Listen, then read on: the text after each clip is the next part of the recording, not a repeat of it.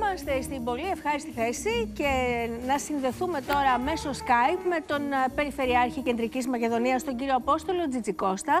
Να τον καλησπερίσουμε από το καλύτερα δεν γίνεται. Καλησπέρα σας. Γεια σας κύριε Γερμανού, καλησπέρα. Χαιρόμαστε και σε όλη την παρέα.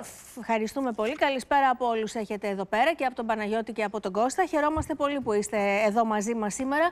Πολλά τα πράγματα που έχουμε να συζητήσουμε. Κώστα, θες να ξεκινήσεις εσύ να πούμε πρώτα για την ε, Φούστανη, για το ναι, χωριό ναι, βέβαια. Της Καθώς ε, κύριε Τζιτζικώστα, στη διοικητική σας αρμοδιότητα είναι και η Φούστανη, ένα χωριό το οποίο βρίσκεται σε καραντίνα και υπάρχει ιδιαίτερη ανησυχία. Πώς είναι η κατάσταση εκεί; Ξέρουμε ήδη υπάρχουν δυστυχώς δύο νεκροί και τα κρούσματα αυξάνονται.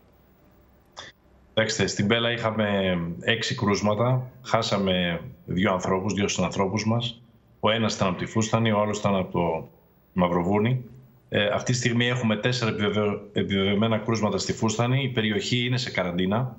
Δεν μπαίνει και δεν βγαίνει κανείς. Ε, φροντίζουμε η περιφέρεια, ο οικείος Δήμος, να πηγαίνουμε τρόφιμα και είδη πρώτης ανάγκης αλλά και είδη προστασίας στους κατοίκους της Φούστανης.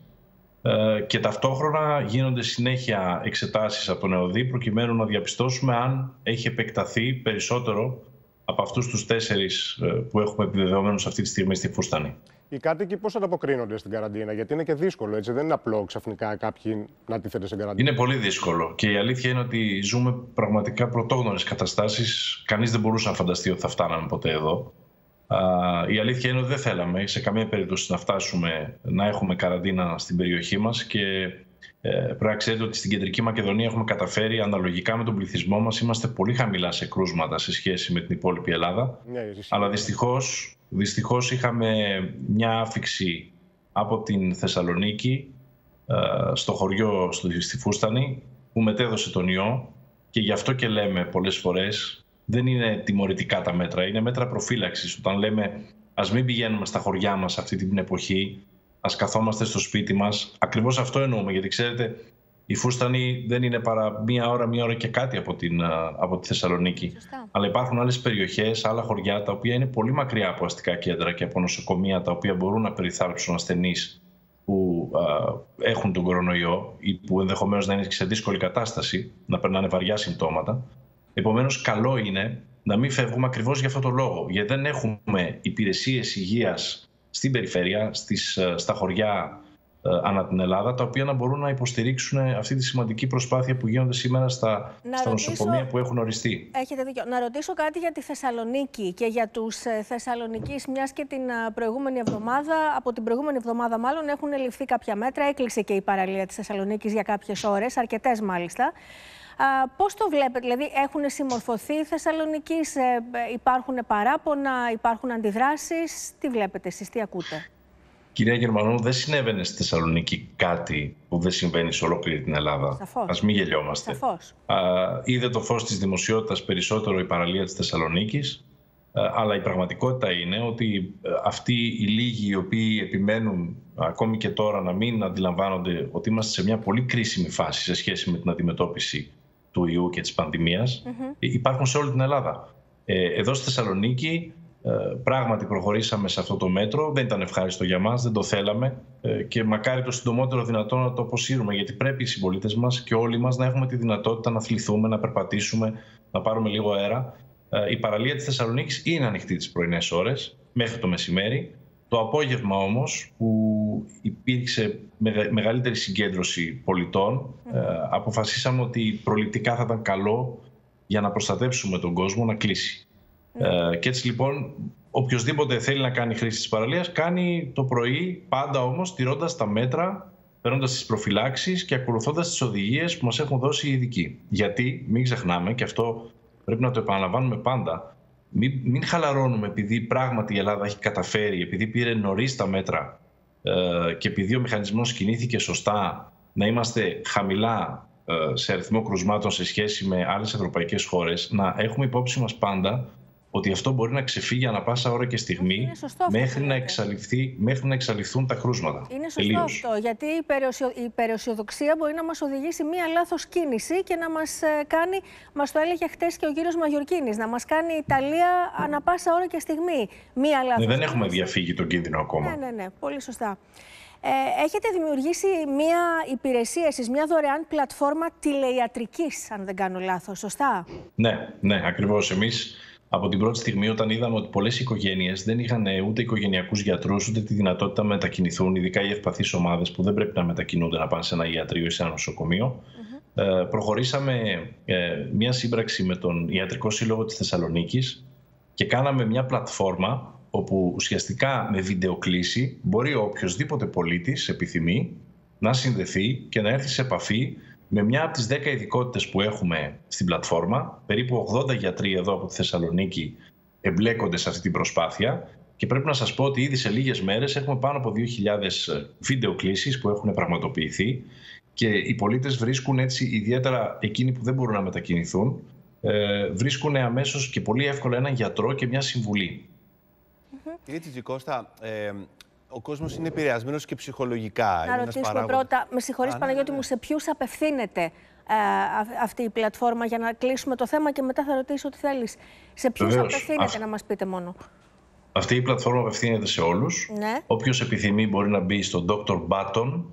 Dr. Ε, Button. Κα... Ακριβώς. Κάθετος, Κεντρική Μακεδονία.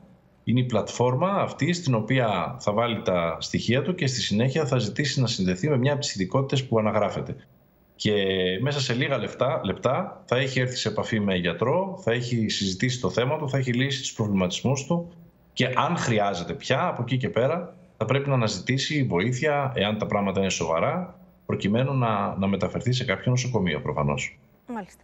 Ναι. Για, ναι, έλεγα πριν για τον ψυχολογικό παράγοντα που είναι πολύ σημαντικός. Ε, υπάρχει κάποια γραμμή υποστήριξης ε, που παρέχει ψυχολογική υποστήριξη ουσιαστικά στον κόσμο; Ναι, ακριβώς επειδή είδαμε και εμείς ότι ε, όπως, οπωσδήποτε υπάρχει ψυχολογικό φορτίο σε πάρα πολλούς ε, από τους πολίτες που έχουν αναγκαστεί να ζήσουν αυτές τις πρωτόγνωρες καταστάσεις, ε, δημιουργήσαμε μια, ένα τηλεφωνικό κέντρο στην περιφέρεια Κεντρικής Μακεδονίας, όπου μπορούν οι συμπολίτες μας καθημερινά να επικοινωνούν με ψυχολόγους και ειδικούς επιστήμονες για να τους καθοδηγούν, ε, να συζητούν τα, τα προβλήματα που μπορεί να έχουν και τις ανησυχίες τους. Και επίσης και εκεί έχουμε, έχουμε δει ε, πολύ μεγάλο ενδιαφέρον από τους πολίτες. Έχουν ε, επικοινωνήσει ήδη 1.500 περίπου συμπολίτες μας σε αυτά τα τηλέφωνα και πρέπει να σας πω ότι νομίζω ότι με τέτοιες δράσεις μπορεί σήμερα η πολιτεία, οι περιφέρειες να στηρίξουν τους συμπολίτες μας που περνάνε δύσκολα. Γιατί η αλήθεια είναι ότι όλοι περνάμε δύσκολα αυτή την περίοδο.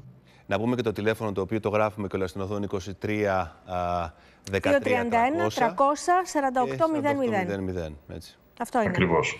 Είναι καθημερινά ναι. στη διάθεση του κόσμου. Επίσης αυτό που ξεκινάμε σε λίγες μέρες είναι θα, θα πηγαίνουμε πόρτα-πόρτα και θα παραδίδουμε έτοιμα γεύματα στους ε, συμπολίτες μας που έχουν ανάγκη στην Κεντρική Μακεδονία υπάρχει πολλοί κόσμος που έχει χτυπηθεί όχι μόνο από την υγειονομική κρίση αυτή που έχουμε τώρα, αλλά και από την οικονομική κρίση και που χρειάζονται τη στήριξή μας. Εμείς λοιπόν έχουμε αποφασίσει ότι κανένας δεν θα μείνει μόνος του κατά τη διάρκεια αυτής της κρίσης. Λοιπόν, για το επόμενο διάστημα θα παραδίδουμε ως Περιφέρεια Κεντρικής Μακεδονίας έτοιμα γεύματα στα σπίτια των συμπολιτών μας, των ευπαθών ομάδων, αλλά και εκείνων που είναι πιο ευάλωτοι. Αξίζει να πούμε κιόλας ότι οργανώνει η περιφέρεια και δράσεις όπου προσφέρονται και δωρεάν μάσκες, γάντια, αντισηπτικά στην πυροσβεστική, στο ΕΚΑΜ και σε κέντρα υγείας. Αξίζει να το ναι, πράγματι. αυτό. Πράγματι, κυρία Γερμανού, επειδή είδαμε ότι ε, υπάρχει έλλειψη σε είδη ε, ε, προστασίας ατομικής ε, και επειδή οι άνθρωποι αυτοί δίνουν τη μάχη από την πρώτη γραμμή για να είμαστε εμείς ασφαλείς και σώοι, αποφασίσαμε να, να προμηθευτούμε και να διαθέσουμε και στα νοσοκομεία μας εδώ στην Κεντρική Μακεδονία και στα κέντρα υγείας και στα ασθενοφόρα μας αλλά και στην αστυνομία, την πυροσβεστική, το λιμενικό, τα σώματα ασφαλείας δηλαδή, στους άντρες και τις γυναίκες των σωμάτων ασφαλείας και του νοσηλευτικού προσωπικού της Κεντρικής Μακεδονίας, των ιατρών μας, μάσκες, γάντια, αντισηπτικά, ό,τι χρειάζονται για να κάνουν τη δουλειά τους και να είναι ασφαλείς. Γιατί αυτή την περίοδο πρέπει να υποστηρίξουμε με όλες μας τις δυνάμεις αυτούς τους ανθρώπους που δίνουν αυτό το τιτάνιο αγώνα για να είμαστε, για να είμαστε υγιείς όλοι εμείς οι υπόλοιποι. Και πρέπει να τους βοηθήσουμε. Και πώς θα τους βοηθήσουμε, εμείς ως πολιτεία δίνοντάς τους τις δυνατότητες να προφυλάσσονται και όλοι οι πολίτες μένοντας στο σπίτι μας. Αυτή είναι η μόνη λύση και για να στηριχθεί το δημόσιο σύστημα υγείας και αυτοί οι άνθρωποι που δίνουν τη μάχη, αλλά και ε, για να ε, προφυλαχθούμε όλοι εμείς, να προφυλάξουμε όχι μόνο τους εαυτούς μας, αλλά και τους ανθρώπους που αγαπάμε. Πολύ σωστά. Με αυτό ακριβώς θα κλείσουμε. Σας ευχαριστούμε πάρα πολύ κύριε Τζιζικώστα. Να είστε καλά, σας ευχαριστούμε πολύ και εμείς για την πρόσκληση αυτή και να απευθύνω και μια έκκληση. Εμείς ε, τις επόμενες μέρες παίρνουμε μια πρωτοβουλία ε, για τα αδέσποτα ζώα τα οποία βρίσκονται έξω, για τα σκυλάκια και όλα, όλα τα ζώα τα οποία επειδή ο κόσμος δεν βγαίνει πια από τα σπίτια του, ναι. ε, κινδυνεύουν.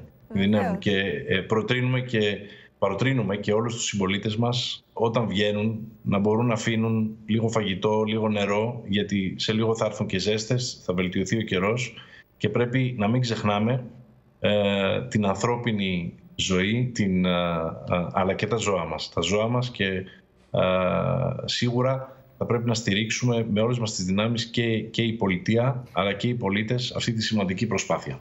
Ε, πολύ καλά κάνετε και το επισημαίνετε αυτό, γιατί το λέγαμε και χτες που ήταν και η Παγκόσμια ημέρα των Αδέσποτων. Δηλαδή, αν όλοι μας, ένα-ένα, γιατί ξέρετε, είναι πολύ εύκολο να τα ρίχνουμε όλα στους Δήμους και στις περιφέρειες. Α, ο Δήμος δεν κάνει τίποτα για τα δέσποτα.